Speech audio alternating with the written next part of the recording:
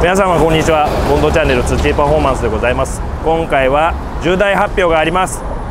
今回なんと僕車を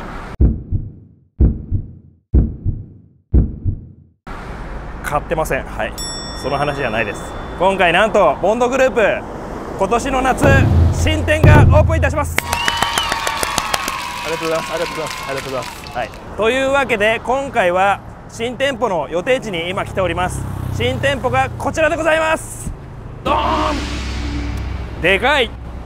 こちらですね。東京都葛飾区白鳥1丁目にオープン予定のボンド葛飾になります。正式名称かどうかは分かりません。はい。ボンド東京2になるのかイーストになるのか、まあ、ちょっとその辺は調整中じゃないかなと思うんですけど。まあ、一応ボンド葛飾ということで、まあ、一足早く、えー、ボンドのホームページの方にはスタッフ募集の広告なんかも入れさせていただいてますけれどもちょっと今年の夏オープン予定のこの店舗を今回ご紹介させていただきたいと思います。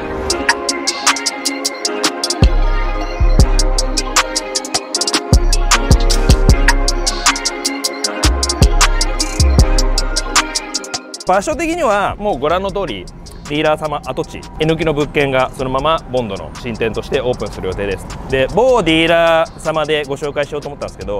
あのもう思いっきり出ちゃってるんで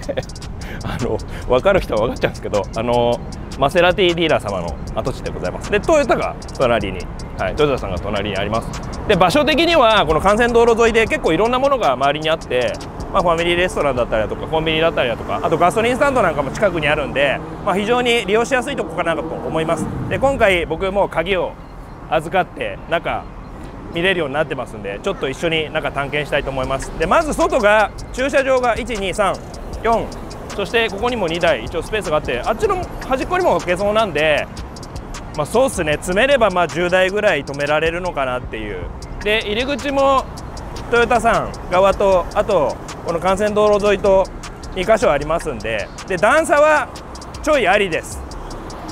ここは多分あの手多分つけられないと思うんで、まあ、リフターがついてる車だったらちょっとリフター上げてもらう感じになると思うんですけど向こう側確か少し段差が少なかったんで、まあ、向こうの方が入りやすいかなと。そしてこっちの右半分側がショールームになっております。で今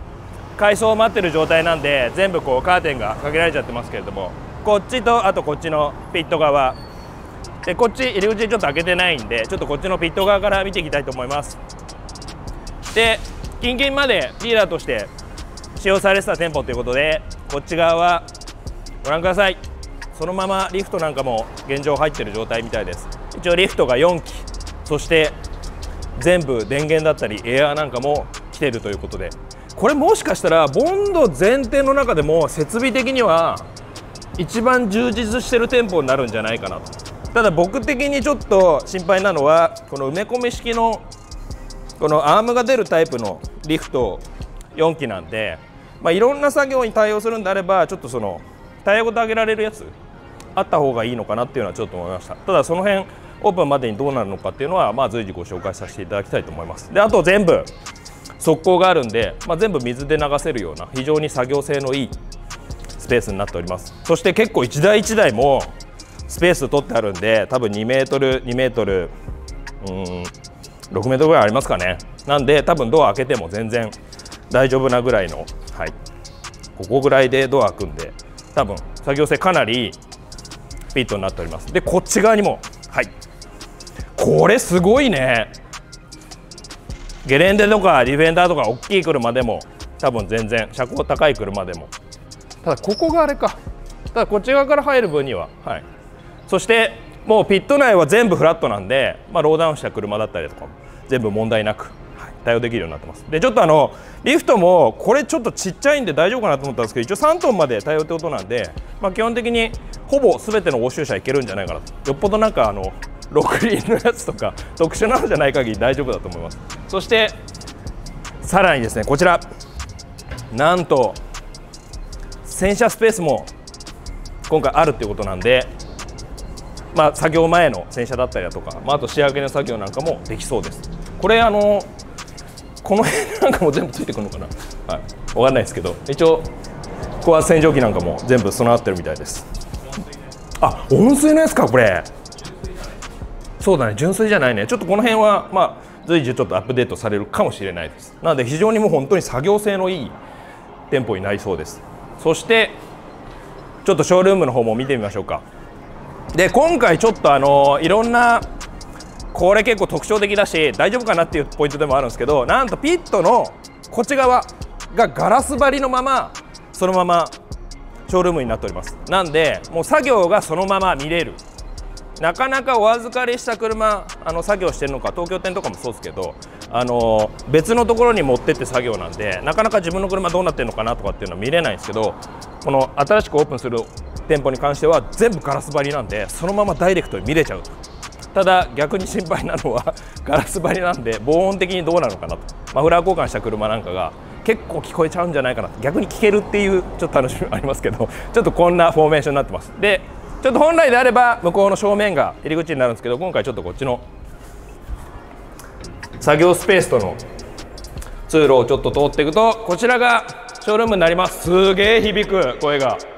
この吹き抜けやばくないですか多分名古屋より天井高いんじゃないかなというそしてマセラティディアゾのこれが多分ボンドのロゴになるんじゃないかなとそして全部オーディオなんかもついてるんだねスピーカーもすごいねこれで車は多分1234まあ詰めたら多分8台とか入っちゃうんじゃないかなという。この広さ分かりますでしょうか？このぐらい広いです。はい。東京店の半分ぐらいかな。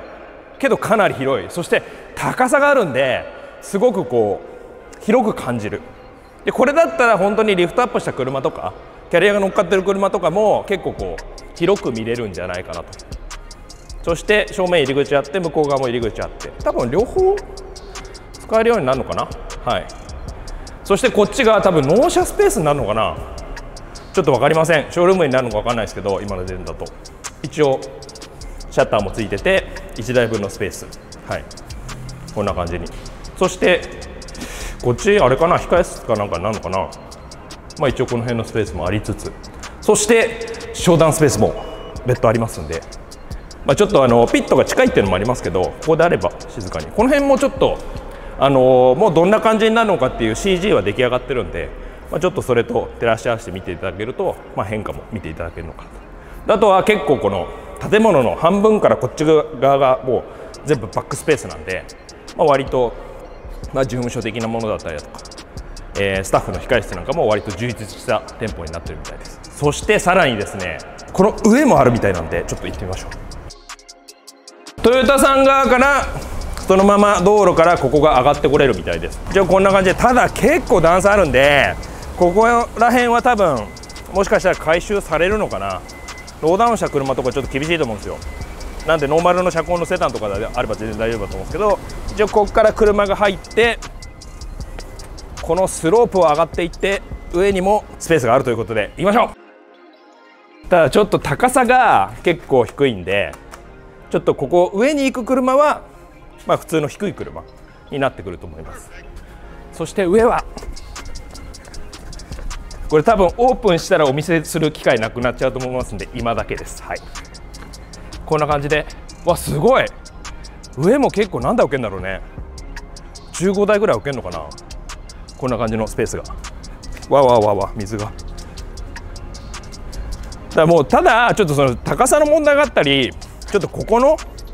スロープの段差あったりするんでもしかしたらお客様のお預かりの車を置くというよりかは、まあ、社員の車とかあとは会社のその車とかっていう使い方になるかもしれないですけど一応上にも。これすごいね。ちょっと我々動画班的にはちょっと動画どこで撮ろうっていうそういう考えもあるんでちょこの辺で車両紹介とかもいいかななんて思ってたりします。あスカイツリーが。こんな感じで。位置関係なんとなく分かっていただけると思います。一応僕朝埼玉側から来たんですけど一応 C2 に乗って次かな？降りてもう車で5分ぐらい。もうそのままどこも曲がることなく、えー、そのままダイレクトに来れるんでまあ割とリーチ的には、えー、利用しやすい場所になるんじゃないかなと思います。この柵いらないんじゃない？この柵ぶち壊せばもう何台か止められそうだけど。これ。そうだよ。この柵をこっち側にしてもらって向こうにこうバンさあというわけで今回は新しくオープンするボンドの進展を軽くなんですけどご紹介させていただきました。ちょっとネーミングの方はあの確認したいと思います。もしかしたら葛飾で決定かもしれないですけどそしてあの新店オープンするにあたってえー、従業員募集しております。メカニックセールス、まあ、その他ジムだったりだとか、まあ、いろんな職種で募集してますんでぜひちょっと何ができるかちょっと分かんないけどなんか車に関わりたいとかもしくはなんかスキルを生かしてえー、ボンドで働きたいとかっていうのがあればぜひボンドのホームページのリクルート欄から応募くださいませ。新店のオープンまでに関しては進捗また随時お伝えしたいと思いますんでぜひチェックしてみてください。で今のところの予定としては夏8月ぐらい8月前半ぐらいになるんじゃないかなということなんですけど、まあ、その辺のオープンの、え、スケジュールも決まり次第ホームページだったり動画の方でご案内させていただきますんでぜひチェックしてみてください。そして新店のご利用皆様お待ちしております。というわけでボンドチャンネルのチャンネル登録もぜひよろしくお願いします。最後までご視聴ありがとうございました。